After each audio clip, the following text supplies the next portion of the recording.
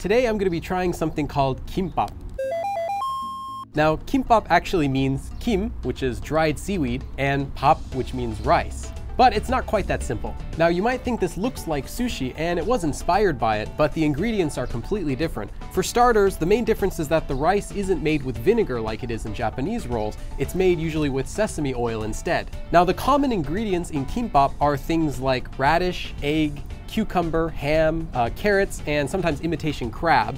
But there are also different kinds of varieties, such as ones that include beef, uh, I actually have one here that has bulgogi in it, or squid, or tuna, or other things like that. And the benefit of kimbap also is that it's fully cooked, so it's great for taking on places such as the park.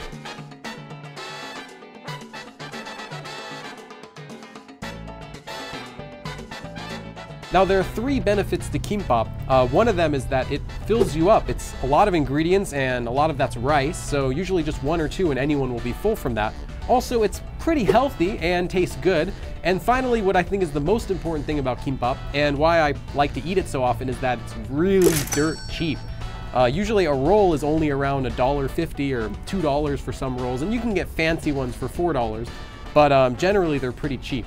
So anyway, this is the regular kind of kimbap, and you can see it just has cucumber and egg and ham and carrots and a few other things in there. This is usually the kind I'd recommend if you're gonna have it for the first time, so I'll give it a try.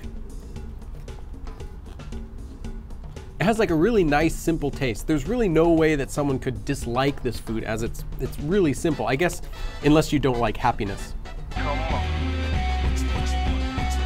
So I'm gonna try the spicy pork. I've never had this kind before. That's like really good.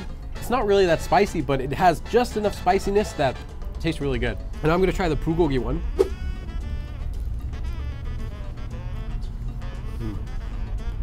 Tastes like bulgogi. Although if you've never had bulgogi before, uh, I wouldn't recommend trying it your first time inside of a kimbap. So if you get a chance to try kimbap in Korea, definitely recommend it and it won't blow your wallet. 그럼 다음에 또 봐.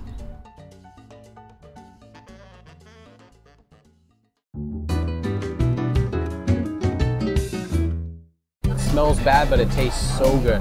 Gopchang is actually, it comes from the small intestine of the cow. If you're a fan of fried seafood, this is especially great.